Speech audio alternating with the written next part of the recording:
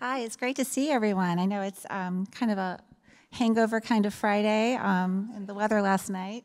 Um, I'm Kathy Blackwell. As you said, I'm an executive editor with Texas Monthly here in Austin, and so I'd like to apologize for the weather.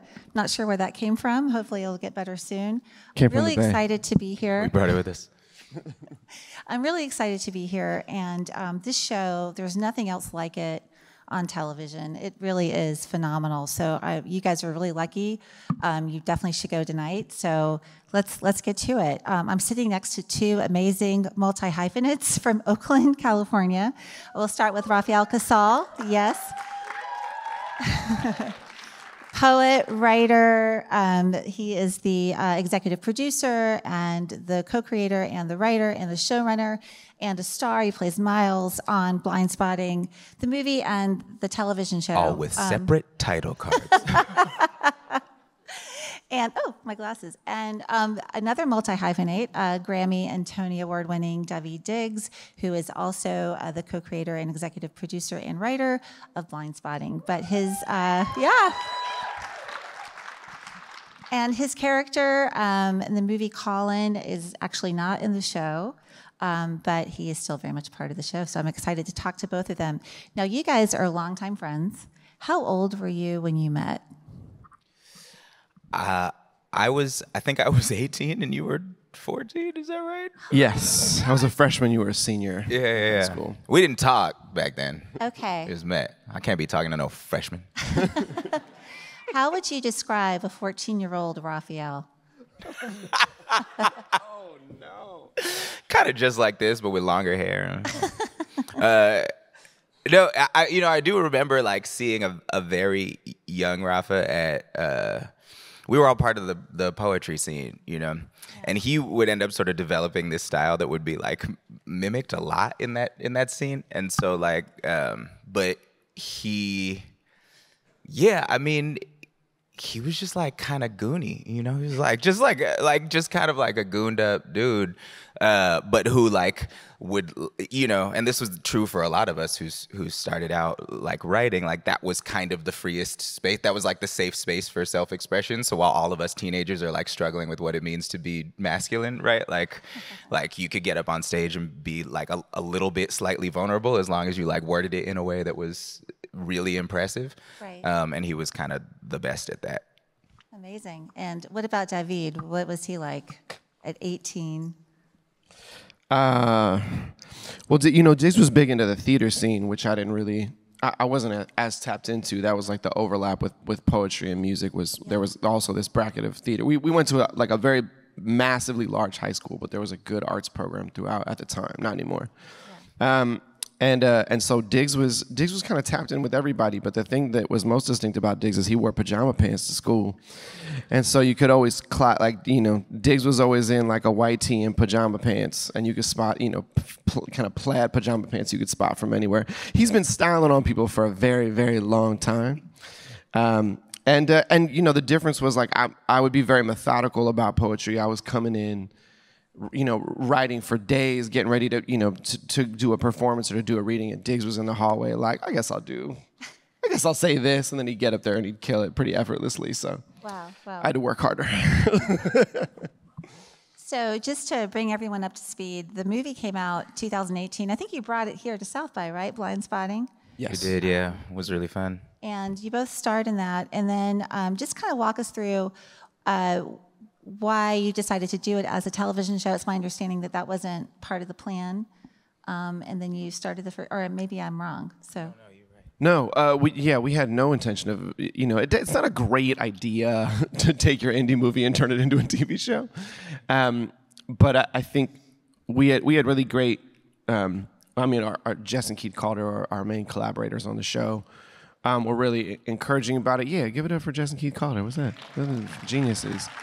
Um, and uh, and and our and our folks at Lionsgate in the TV department were like, we really, you know, we'd get behind you guys if you really wanted to do this, and and we were like, well, it'd have to be a very strange show, uh, and it'd have to star Jasmine Cephas Jones. So we really felt like, you know, we got a couple days with her on the movie and felt that she was brilliant and felt that there was a bigger story there. And I think we told this story about male friendships that we wanted to tell about that kind of a brotherhood. And we were like, well, if we're gonna go back to the Bay and do this again, there's a there's a whole you know plethora of stories we could be telling. We don't need to continue this one. Let's borrow the world. Let's borrow the you know some of the some of the people and some of the same circumstances, but let's present it differently. And so this one was was driven by women was the was the goal. Yeah. And um, and I think that's what's so captivating about the show is these strong female characters, really unexpected, really complex. Um, and again, I, I know I said this earlier, but unlike anything else I see on television right now. So I would love to talk about the collaborative process, uh, the right, what the writers' room looks like, um, and you know, just in, given the fact that you guys have known each other for so long, I'm always curious as to how friends work together. I mean, it's a pretty basic thing, but something that a lot of people have to deal with. So, would love all of that. Yeah, I mean, well, the uh, us working together part has just evolved over a long time. We, you know, we started out making music together, um, which I think is kind of the the crucial element to to everything we do. That space is a is a particular kind of creative space Yeah. that I think um, doesn't adhere to some of the the rules that we didn't know anyway when we started working in television, and so. Um, yeah, there's uh, we've always been we've always been aware that like you can't really be precious about much. Um, that like the the right idea wherever it comes from is the right idea, and then also that like you can't have expectations on a thing. Our slogan is "Energy up, expectations down." We've been saying that since we were teenagers, and uh, so you put your whole ass into something, and whatever happens is what happens. But you you do it in order to do the thing, and so we sort of approached creating the uh, writers' room the same way, you know, acknowledging the things that we we know we don't know. So bringing in lots of women to help with that, borrowing stories from our friends. Uh, you know, so much, so many touchstones both in the film and in now in the series are people who we know and stories from people who we grew up with having the folks who they were based on come into the writers room zoom in with us we were writing over zoom a lot back Yeah, that was big. I mean, I, th- I think the the general kind of rule was, I think, with the exception of Ben Turner, who's who plays Earl on the show, who's who's been a co-conspirator for the show, and so he's a big part of the writers' room. All the writers on the show are women. Um, we um, we I think we did a five-person writers' room season one. I think we had a six-person writers' room, six or seven-person writers' room season two. Um, a lot uh, we're also like bringing in a lot of new people each season to keep that going and then and then a lot of consultation on the things that we don't know much about. So it's cast or it's people that we're having come in for a day and just give us tempos to make sure that we're thinking in the right direction and um and and and that's i mean that's it. I mean you know the the the thing that i think has been most beautiful about it is is been trying to allow the show to go where the room kind of agrees that it should um, and everyone kicks out ideas, and we try to keep it a like a yes and room. Um, but you know, the the the show is really the sum of its parts. Um, so speaking of room and some of its parts, I think a lot of the cast and crew are here. So There's some, yeah, certainly here tonight. All I think all of them are here tonight. yeah, I see. up, yo? Yeah, on the front row. We just got off a bus together. Not like we didn't I know think you we should give them a shout out. um, and this is the first, obviously, the first show that you've been a showrunner on. Um, did you? Um, what was that like? And did you learn things during the first season that you applied to the second season? Literally everything. Everything. Okay. uh, yeah, I've never done it before. It seems like such a huge job. It it is. It's um.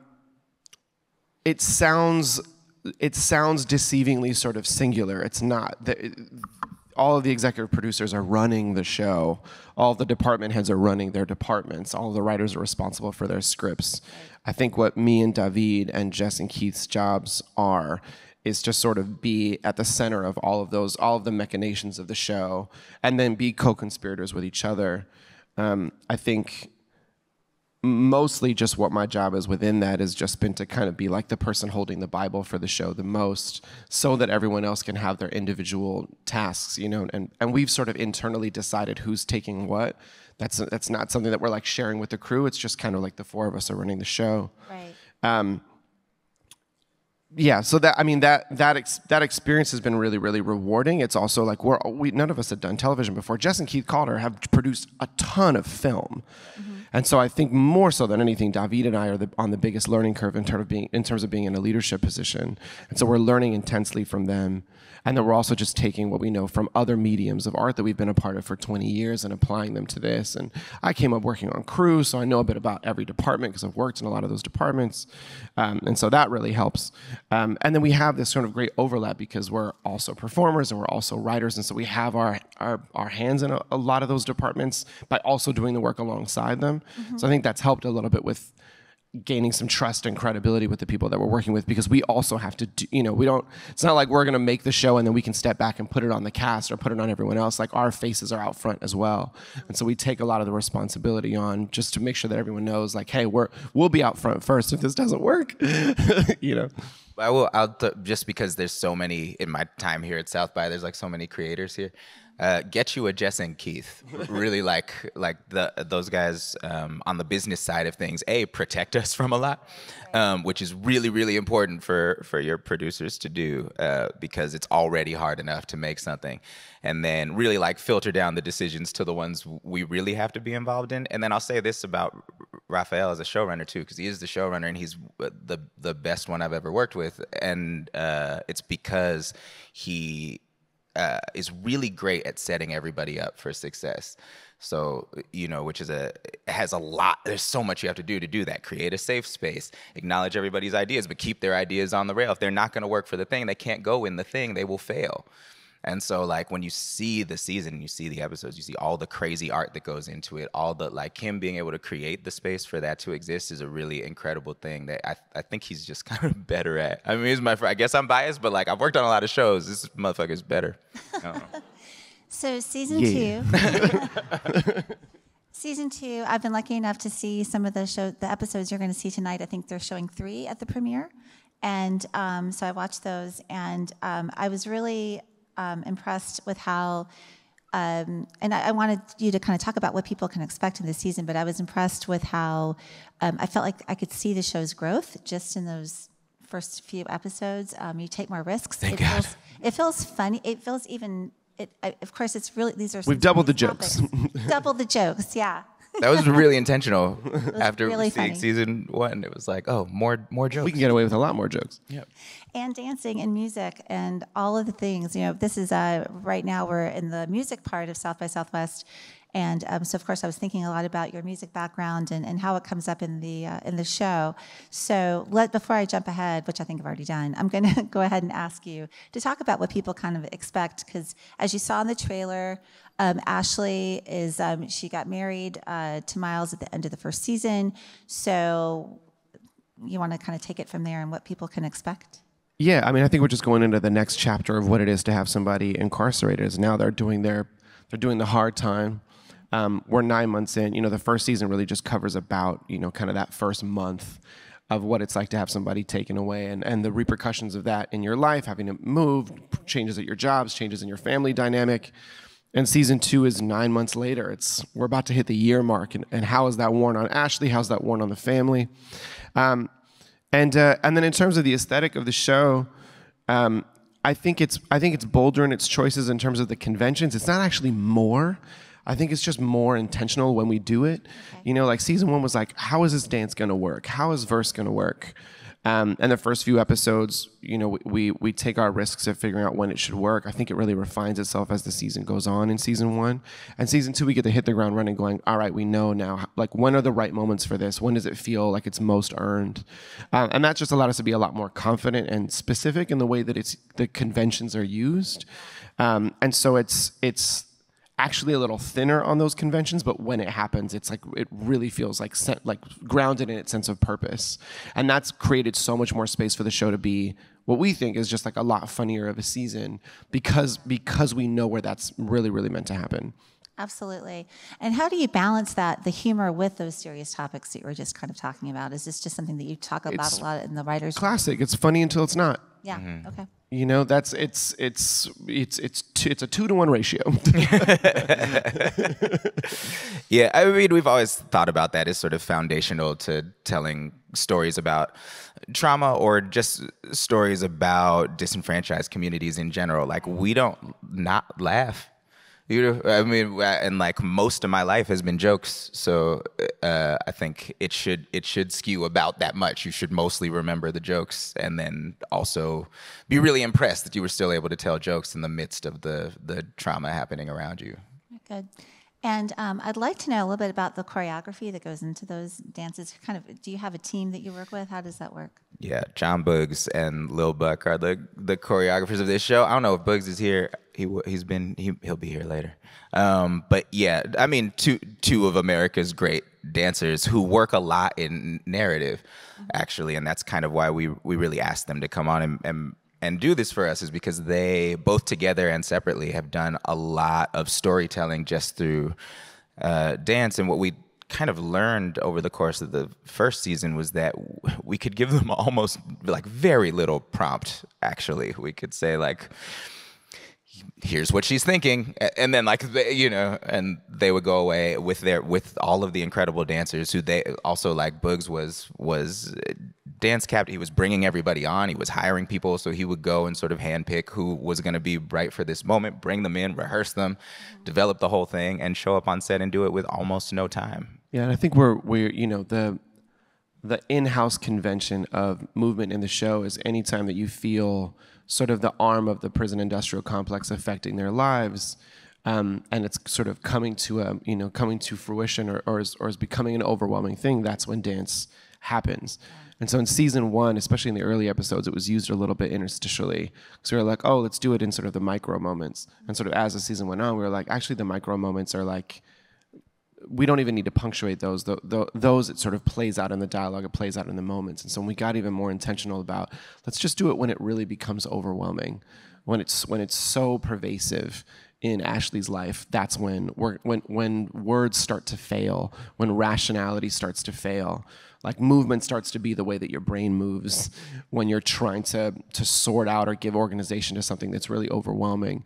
And so them taking that into season two um, and and focusing really on some of the hardest conversations that need to be had or conversations that can't be had because they're being supervised all the time or there's the divide of mother and child or there's the divide of like in-law and you know like there's a there, all these relationships that sometimes are a struggle for words those are the moments when i think they've really you know taken the show to the next level with movement Yeah, absolutely. Well, so um, you know, we, we've been talking about the um, the issues for this for this season, and of course, we left Earl um, in a in a really bad state in the last the last uh, season, and, and his storyline is is really compelling. Um, and um, and I, I guess it ties in a lot with what you're the work you're doing outside of the show, uh, which is the Last Prisoner Project. Um, so I thought we could maybe watch a little bit about this this group and kind of talk about your involvement and why it's important to you. sure yeah Let's yeah, do let's it. do that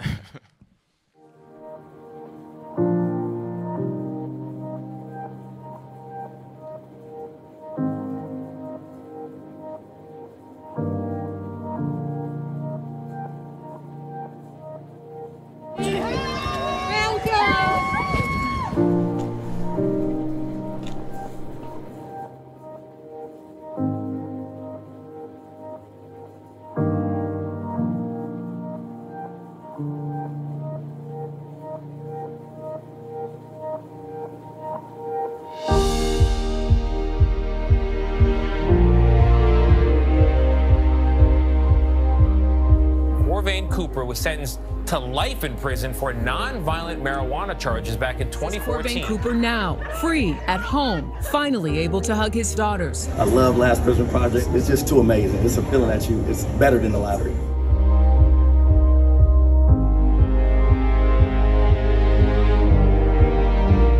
We've all been recipients of mm-hmm. what that cash flow looks like. My daughter's tuition was paid upon my release. Like the funds are being used.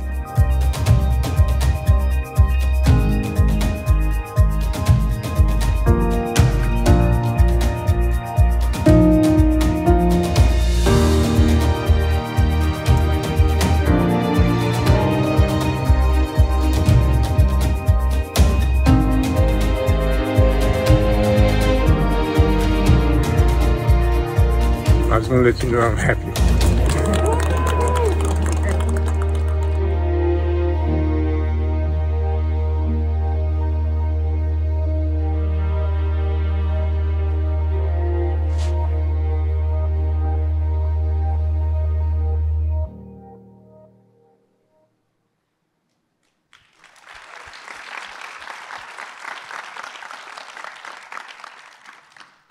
So talk about your involvement with the group and, and why it's important to you to, to share these stories.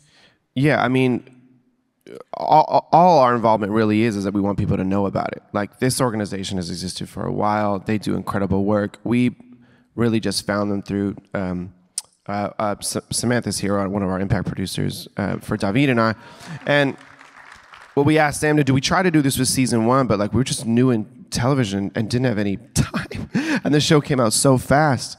But I remember we, we had talked a lot about look when we're when we're going out and doing all this press stuff, we just don't really want to talk about just the show.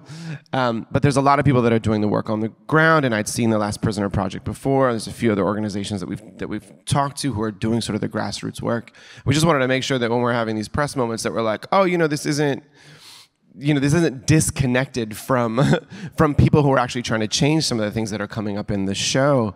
And it's also a lot of the, these websites and these people doing this work is where we're getting our statistics from. I remember like you know it was last prisoner project uh, that during season one when we were telling people that um, that Miles was going to get sent away for X amount of years, and people were like, "That seems like a long time for him to get sent away for drugs." I was like, "Oh, so here's some statistics of the kinds of sentences that people are getting," and I think it's so mind blowing for people when they start to actually hear that people are getting 10, 20 year sentences for for not distrib- not distribution. We're talking about for like a dime bag, for a twenty sack, for things that people have on them right now, you know. Um, and so I, I think for us all we're really trying to do is is just drive attention to them. As you can see, like they're a nonprofit. Like donations really matter. They're they're wildly important.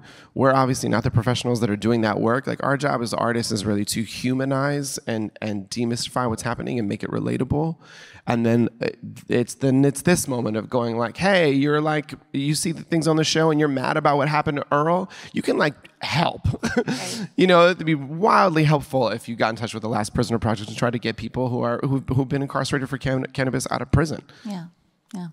Daveed, anything? else? Yeah, I mean, uh, th- there are so many, so so much of what we're trying to do in this show is just talk about the real life situations of people who are close to us, and like every everybody in here is probably one to two degrees separated from someone incarcerated, right? I would I would imagine, right? Everybody in here today. I mean, mm, and and this also uh, disproportionately affects women, right? So uh, one in four women have a family member or loved one incarcerated. One in two black women, um, and so this is also a it's a race issue and a gender issue as well, um, which is another reason the show's focus is on what's happening to the families outside uh, when somebody is pulled away, what it means to move that resource away from a community.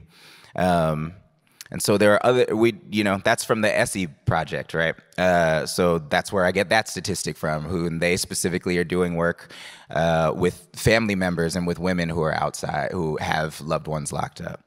Um, and so that's another project you can get involved in. And again, like real people on the ground doing this real work that is very, very important. Um, and so our, our stories in here are drawn from real life situations. We get to watch it and empathize with people, hopefully on a large scale, who we wouldn't normally empathize with, or we get to see ourselves reflected in them some way. There's a, a, a profitable narrative built up about incarceration in this country, right? Be, uh, that like we, we assume one of the reasons it was so unbelievable that someone would on, would get that much for drugs is because we assume people with long sentences are there for violent crimes. That's not true.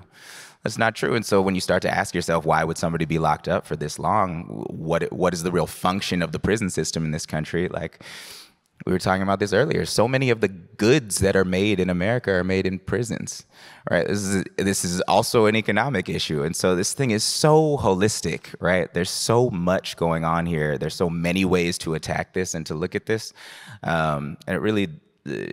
You know the amount of people incarcerated in this country is insane and it would behoove us all to sort of examine that through an economic lens through a race lens through a gender lens um, and we will i think once you start doing that you realize how actually deeply connected you are to that system and how much it is affecting and hurting your life Um, the family visitation is part of this this new season. Um, so, what kind of research did y'all do um, to kind of figure out? Because it's it just plot wise, it just sounds really fascinating. Kind of like what the situations can can be like. Yeah, I mean, uh, you know, our focus is on San Quentin Prison in in, in Northern California. Um, they have one of the few sort of weekend visitation programs that exist in the country. Um, and so a, a, lot of our research was specifically about how that institution does it, but of course we pulled also from a few other institutions that, that have similar programs. Um, and the the value of the program is to try to keep to try to keep inmates, um, it, it, you know, having a good family dynamic with their partners and loved ones and their children, to try to lower the recidivism rate, to try to keep them connected to something outside of the prison. And so um, they have these um, these cabins that you know families can come into the prison and stay for the weekend and they can cook and have some you know semblance of normalcy um, while they're serving their their sentence. Um, it is a fascinating complicated kind of program. It is empathy in a place that feels cruel um, it, you know and it's by its very nature. And so we wanted to explore what it's like to bring a child into that situation, what it's like to try to maintain intimacy and love in these very brief moments of physical contact, what it's like to parent um, in that in that context, and then what it was you know really important for us was not only to sort of learn about it and and uh, and do all of our research, but we made it a point to shoot at the prison so we could physically be in that space and ha- you know it's one thing to, to build a set and we did that as well for some of our you know some of the shots that we needed but we it was we were really really adamant that we wanted to go into San Quentin and see that facility and design it to look just like that and have the same you know kind of color scheme and space and and that really I think helped our cast find you know you know have have an honest reaction to what it's like to be in that space. And you know we worked really uh, tirelessly with that with the staff at the prison to know all right what are the things that are allowed what are not allowed what are things that come up with people we you know we did a lot of obviously research online and talked to people who've been in that in that system and and you know the thing is you sit down and you write all the things that you think were going to come up and then you talk to folks and like they have completely different concerns which is always a, a, fascinating thing. So again, that's sort of our policy of like you just got to react to the truth.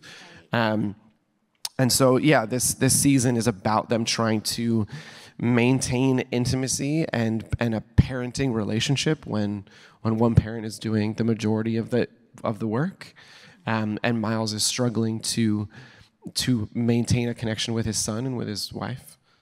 The visitation episode, Jess Wu directed that one. It's showing here uh, also, and so yeah, it's it's very good. She killed it. It's her directorial Directorial debut.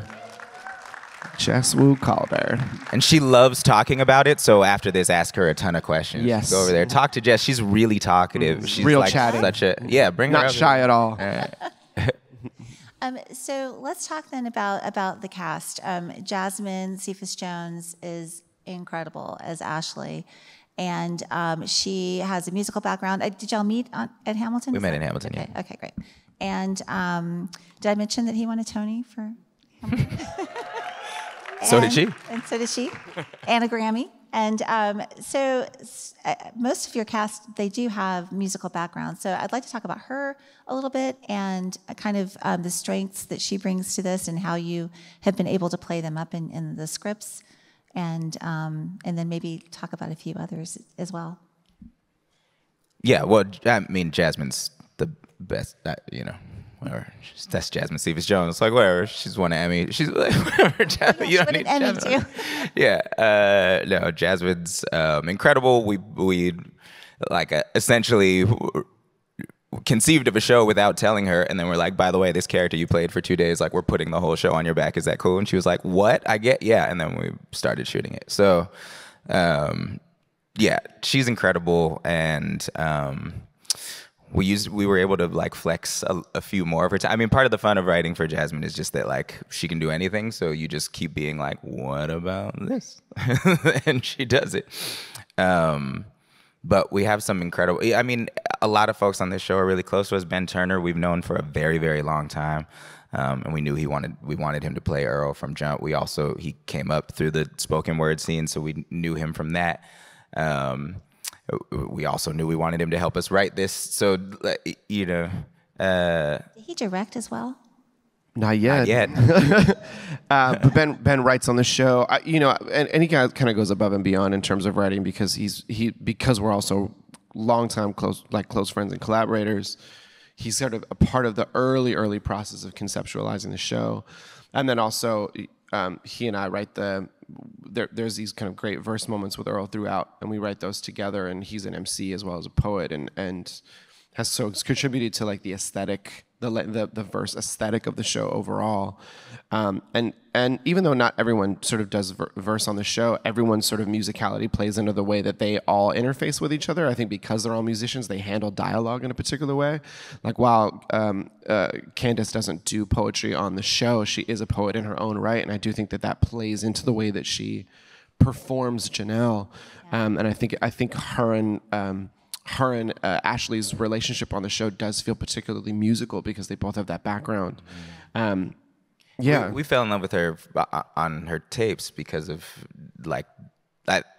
Before I really knew that she was a poet, I think because of like the way that the, those cadences influenced the way she spoke, but felt so real to the kind of people we were talking about. Um, and also, we knew she could handle text, and we were gonna write a, a lot of like wordy shit. So yeah. like, she, and, and Jaylen talks a lot of shit, which is like has a cadence to it. Yeah, yeah. Um. um, Jaylen's an expert shit talker in real life, and so we were able to translate that to the show. Um, uh, Atticus is here. I want to shout out Atticus, uh, who plays Sean. Young Addie um, his growth over the two seasons is like staggering. I don't know. You know, you work with kid actors, and it's like, what? You never know what you're gonna get. You know, but didn't like, he's so gorgeous, right? It kind of doesn't matter. He didn't have to also be good, but turns out, um, turns out, not only is he really good, but he's worked so hard. Um, and particularly over the course of season two, like watching him putting in work, working with a coach, running the lines, and going from uh, a young actor who was incredibly gifted, who was kind of mimicking the ways that we were asking him to perform mm-hmm. to an actor with with ideas with input into the scene with i think i should say it like this. I'm feeling like this right now. This scene makes me feel like this. Um, has been really incredible to watch. His his journey as a young actor is phenomenal. So uh, you're welcome industry. He's gonna be around for a long time and Jaylen's character is is incredibly fascinating to me. Um, I feel like I've learned a lot watching her. Um, just you know, it's not often that you see, um, you know, sex workers portrayed realistically and in the way they should be, which is, you know, they're they're they're people, and uh, it just it just it's very humanistic. And um, what kind of research? What kind of consultation? Consultation. So they came into yeah. the room and um, it, there was folks coming into the room. There's a few people that I grew up with who have been in that industry or still in that industry, mm-hmm. um, and so you know I, I, think also it was really important to us that like it was going to be a facet of the show, and we wanted to make sure that it didn't become sort of the driving force of the show because I think at that point we're no longer qualified to be to, to, to do that show. Right. I think we can as a as a as a B plot of the show to go. All right, we'd like to display this world the way that we saw it, um, how do we make sure that the things that are happening in that world are, are most important? And one of the things that that one of the folks that came into the room said when we asked, like, you know, obviously, I'm sure you've watched a lot of TV and film portrayals of the work that you've done in your life or the way that you've lived your life. Is there what have you not seen that has been frustrated that isn't played up? And the thing that was said, oh, you know, over and over again to us from different people was those are some of my closest friends that I'm around, and we support each other. And the portrayals of us as like catty and competitive is bullshit, and not how th- these are the these are the women that help me survive. Um, men are the problem, you know. It's a, more more of that, and so Um, and so it was really important for us to have to, to have Trish have really strong friendships. And so I think what started in the beginning of the first uh, season, in the first episode, where we sort of introduce a couple of her friends, to keep bringing them back, Yeah. even just to go like sh- these. This is a consistent group of women that really support each other. Um, and so that was really um, that was really key. And then the other thing that that I think we really latched onto was this idea of the entrepreneurial spirit. Right. And so season two really is about at the end of season one, Trish, Trish and- Jackie say that they're going to start a business, and we skip forward nine months, and it's doing great. Yeah. So much so that like the season isn't about like, oh my God, how are we going to like now we're businesswomen? How are we going to handle being businesswomen? It's actually just assumed that it's doing fine, and it's all about how their personal lives are as young as young adult women, Right. and and what that transition has been like for them. Um, and so that that was really really fun to explore, especially because. I think in working with Jaylen, who I think is is one of the most phenomenal performers I've ever seen. She came in playing Trish, who was going to be this like, you know, like harder antagonist for um, for Ashley, and the jokes were going to be sort of circumstantial. And what we learned really quickly is that Jaylen is fucking hilarious. So funny. Um, and her ability to improv is like off the charts good. And so by the end of the first season, uh, which was the, the, the the finale was the first episode that I ever got to direct, and I remember this moment where Jaylen had to come through a door and deliver a line. Um, and it, it wasn't even like a particularly funny line because I think we we were pretty exhausted at that point in terms of our writing. Um, and so I just got to like shout from you know from the monitor, try something else, just do something else.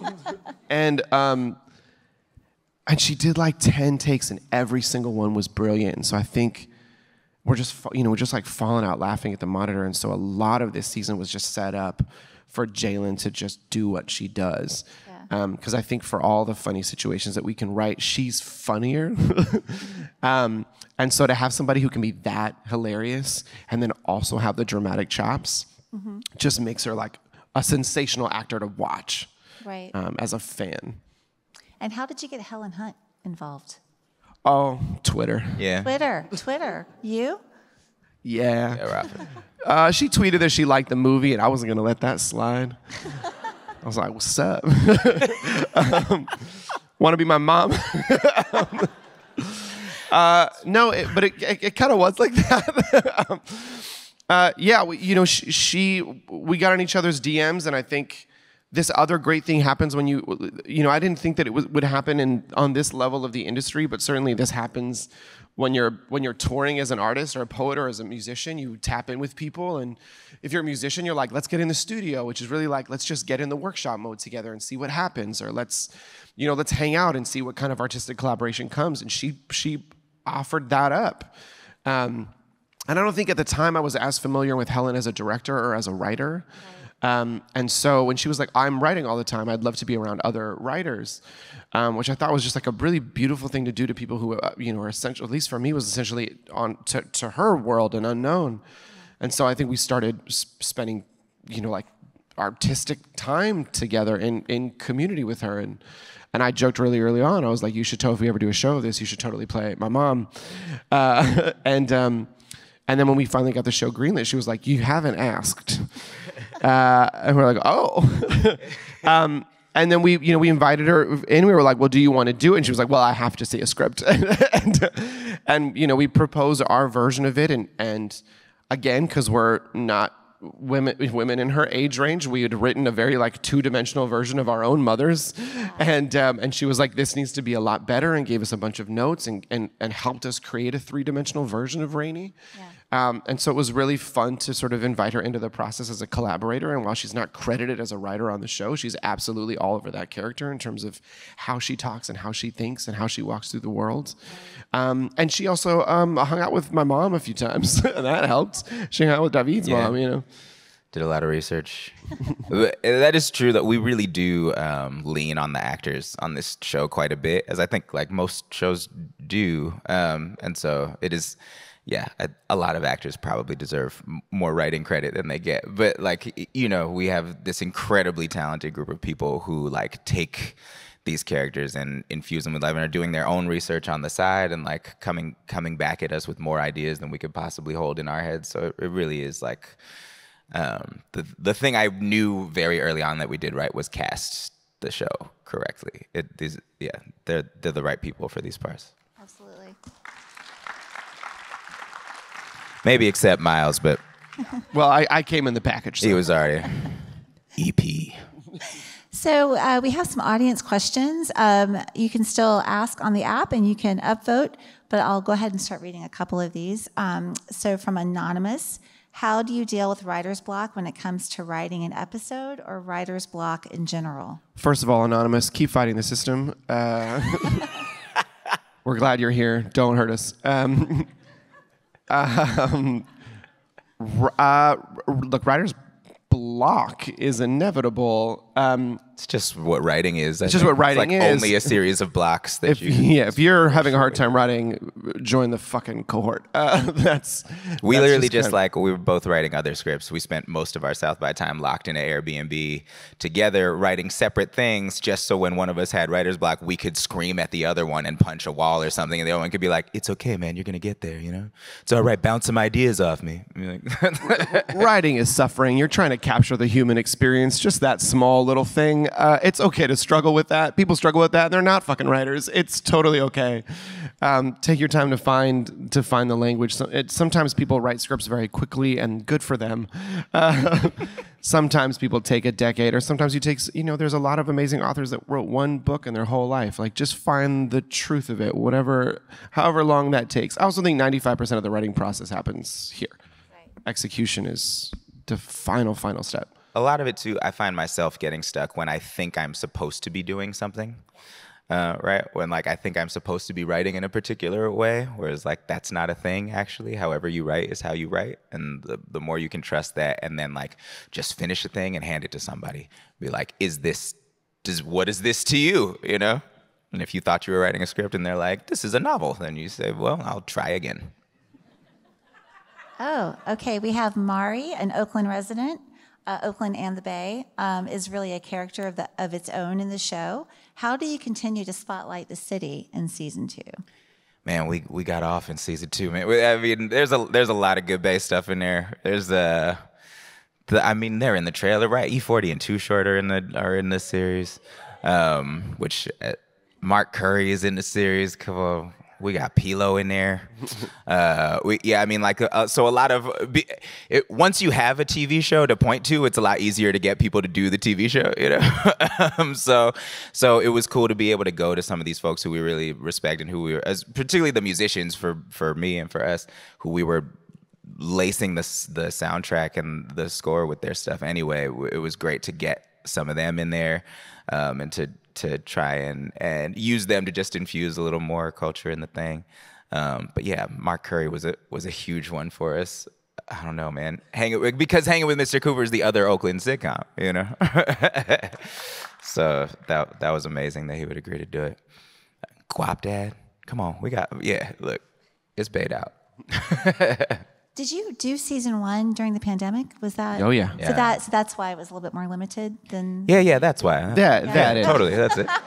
well uh, you know uh, and uh, the the machine of hollywood doesn't particularly like to shoot places where there isn't infrastructure and so you know what we're hoping to do among you know a, a cohort of other filmmakers um, you know boots riley just just shot Have you his, saw? Did anyone um, get to see?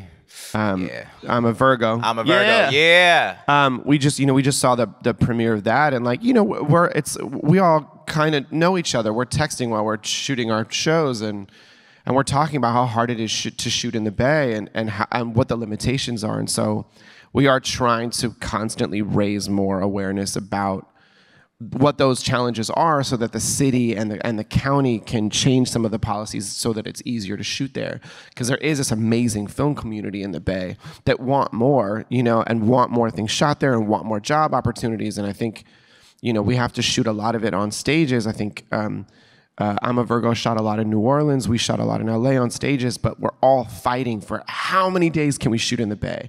How much can we get out of those days? How much local crew can we hire? How many local businesses can we feature? and so you know, I think every time we've increased it between season one and season two, we we increased it maybe I think by like five days or a week or something like that, which is a lot when you increase from I think we went from two to three weeks. That means you know because every every episode is fi- five days of shooting, so you're adding a day or two per episode that we can go to this park or go to this business or shoot this house or you know it it or, or shut down downtown and drive our cars through there or hire the crew of dudes who do tricks on their bikes who are you know, nearby or we you know we reopened Luka's Lounge in downtown Oakland which has just gotten shut down and bought by developers and we were like hold on don't fucking shut it down. We're about to shoot there because we want to immortalize the things that are disappearing. And so for us the the bay became became this this like it's always the light at the end of the tunnel when we're shooting the show. We're like oh at the end of this we're gonna go home and we're gonna get everything for every episode all in one swoop. And I just realized how silly of a question that was about shooting during the pandemic. Of course you did. I just, the time is like, what is time? Yeah. yeah i don't know Yeah, no. Um, okay, we have another question um, from another anonymous. Uh, how can we all in this room support the Last Prisoner Project, and what is most needed at the moment? go to the website donate donate donate donate donate donate donate um, if you go and you buy weed at a dispensary you have money donate um, we're spending money on cannabis all the time maybe not in austin but in the states where it's legal. Or you know you have $10 you have $20 like just do it out of fucking guilt that you can do it and not go to prison. Um, that there's people serving unbelievable sentences while you're there smoking on your back porch. Donate in that moment of realization. Um, and then I think also just raising awareness about um, the reality that this is still something that's really affecting a mass, mass amount of people um, on the on the state and federal level. And so I think just arming yourselves with a couple statistics. And when somebody's like, you know, they say some sly shit about prisoners, about people who are imprisoned, that you have some way to counter that narrative a bit by humanizing it. I think that's huge, huge, huge. That's great. Do we have? Are there there are folks from other organizations in here today? No. Is there, I think there's someone from Essie Reform. Reform is here, right? Reform is here too. Reform is a great organization that you can support that works on sort of the the the bail complex that's happening to get people out of prison when they're awaiting trial, and also the repercussions after people are let out. Um, Essie is is a Bay Area based organization that's also a national organization um, that's really about it's it's founded by um, uh, women of incarcerated uh, loved ones um, based in, based or founded in Oakland, and they're really about supporting the families of people that are incarcerated um, with everything from financial help to mental health. Um, so those are those are sort of the three organizations that we're that we're most familiar with at the moment. Last Prisoner Project, Essie, and Reform. Please, please, please check them out. Great. Um, from Lisa Hammer, what were you most excited about Blindspotting Season 2, and what um, have been some unexpected happenings during the process? Uh, we should both answer this. I'll do my hype ones. All right. Uh, one, there's a Western episode, uh, which is uh, which will premiere tomorrow. That was so fun uh, to like get a Western town and do a full ass Western episode, all from the perspective of Sean. Um, so that's really really exciting. Um, and then two um, is Jess Wu Calder's directorial debut. Um, she's been a, an amazing um, producer of film for so long, and a, and a, and a, and someone who develops um, writers like us. Um, and so to see her step into the director's chair for two episodes this season is unbelievably um, fun and exciting to watch. Um, and then we did work with the Henson Company. We did work with the Henson Company. We'll we'll save that surprise. But yeah, that that was a yeah. I think I'm excited. I'm excited for all of the ways that the that the cast got to stretch out this season. Are we? uh What episode Candace be f- fighting in? Oh, we're not showing it. Nah, we're not showing that one. All right. Well, Candace gets to do some truly wild shit this season that she busted her ass for. She like worked really hard for. I just like I'm really um the the places that that the cast have gotten to take these characters make me really happy and the way some of the the characters who we only got to feature snippets of we got a little more time with them um so Cuddy's back in a uh, What up, Lance? Come on, Lance. Cuddy's back uh, in a more central role, Ed Jackie. Um, April Absynth April is back in a bigger role this season, which is yeah, amazing. yeah, yeah. Um, so the and that, their storyline is is kind of one of my favorites, and they have it one episode that that highly highly features them, and and so yeah, just getting more getting more time with these characters, getting to have them stunt a little more. That's great. Oh, this is a good one. Um, what do you feel is the role of the artist in combating this crime wave pro cop narrative we see in so many cities, especially online? It's a little heavy. Yeah. But good. Um, well, I- I think you got to present alternative narratives. It's uh, all we're doing as artists is presenting narratives, and I think, um, but there is the yeah, there is a thing that is. Um, every time, particularly in television, because it moves so fast and you're trying to accomplish so much, and in, in film too, we are all reducing things, right? You can't you can't tell you're picking and choosing parts of the story that you're going to choose. And oftentimes those choices have to do with are, are not are, are not necessarily you might not be watching a pro cop narrative because someone is intentionally trying to promote that narrative but because it is a story about a police officer and we're focusing the narrative right? But by doing that and dehumanizing the the the people that the police officers are locking up uh, that that perpetuates a certain thing that's been going on in this country and is part of the reason. And it's and also like it is insidious. It is intentional. It is like in order to keep prisons open that don't need to be open. And so like uh, you can you can hide it under the guise of just creating story or you can work really hard to complicate all sides of this issue and make everyone a real person um, and tell and then also intentionally tell the stories about people who are are criminals right? And realize that that's that is a that's not a label that anyone is born with um, and that's not and that is a label that's been put on them by a particular system. So you can choose to examine systems that in the way that they actually exist in your in your content Yeah, I mean, television is a propaganda machine for humanizing police. It has been for a long, long time. I think the CIA, like, very publicly helps. Um, and so, I, you know, by, by being consultants for shows and making sure that it, you know, there's there's a there's a big there's a there's a big investment in how police are represented on screen to favor in law enforcement, and there's a lot less shows from the perspective of the people that that impacts. Um, and so I think the role of art is is always to give the unheard perspective, um, and to humanize the people who are being affected by it. What is it? What's that amazing? I can't remember it now. What's that amazing quote about lions and hunters? It's like as long as the hunter's telling it, the the lion's always the dangerous one, or something like that. And that it, it does feel as though like we've just had a lot of time hearing it from the hunter's perspective. Um, and so I think our, our job as artists is to go, hey, you know, our perspective of, of police growing up was tremendous fear and corruption. Um, and, and that's the narrative we always knew. And then there was this there was this other fantasy cop on TV who was like nice and just and was like looking for the bad guy. And then one day you go, "Oh, am, am I the fucking bad guy in this? Like, is that who I'm? Is that who the portrayal is?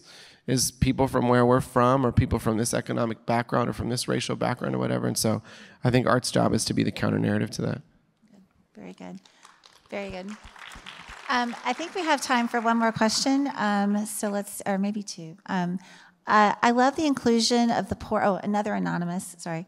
I love the inclusion of the port and the longshore. As a proud Oakland native, can you share more developing that narrative and if it will return in season two? So the port uh, was part of um, Earl's story. Yeah, I wish I wish we got to be at the port even more this season. Um, that unfortunately was just the the job for the end of season one.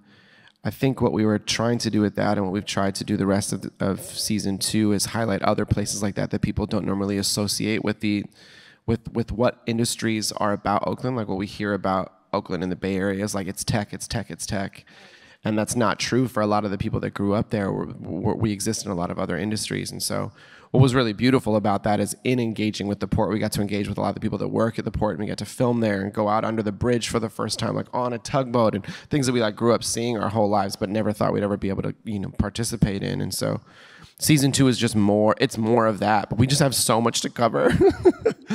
you know, we have so many different things we want to show. So season two, there's about four or five other kind of big sort of tentpole pieces like that that we're like, okay, great. Well, now that we've done that one and shot it as beautifully as we can and and and brought it to life as much as we can, let's go around to some of the other sort of lesser known things that people associate with the area and bring those to life. Okay, good, good. Um, I actually have a question. Is there any chance Collin might make an appearance at some point again? Is he's in Montana, right? Is that right? yeah, I mean, that's what we've been telling. We don't Sean, talk about. Bruno. Uh, Yeah, I don't know. I can neither confirm nor deny uh, Collin appearances because our funding's based on it. No, uh, we just string people along long enough. Come back, watch season three. You really want to see season three if you want to see some Collin, right? Um, no, I don't know. You have to watch. Um, let's see. Um, Nathan Andrews. My mom is a state public defender and has spent most of her career working with kids. How has youth incarceration impacted your stance on the prison system? And I think this will take us out, by the way. On a light note, How was locking up children impacted you?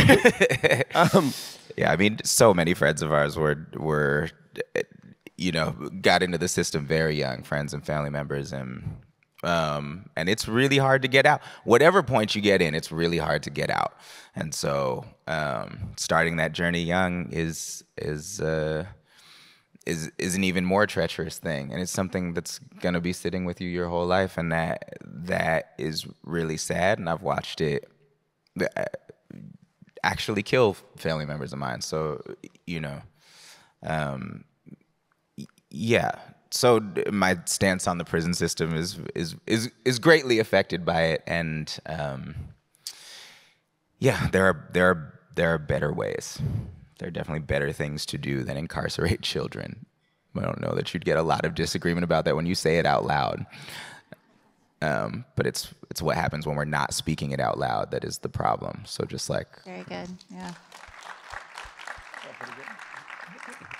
Well, tonight's exciting. You're going to show the first three episodes of the new season at five o'clock at the Paramount. And um, so you should come. It'll be amazing. And I think they might show the trailer one more time before we head out if you missed it the first time. But I want to really thank Rafael Casal and Daveed Diggs for being here today and for, and for the whole cast and crew for being here too. thank you.